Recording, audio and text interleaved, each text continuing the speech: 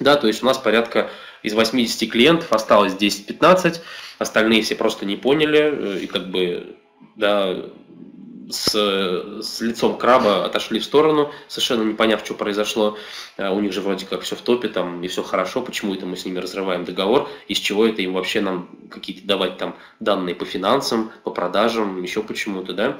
Вот, э, значит, стало все печально, э, клиенты сократились, но забавно вот чего. Мы где-то примерно в 2012-2013 году посмотрели, что стало с нашими бывшими клиентами, которые, соответственно, с нами расстались. Да?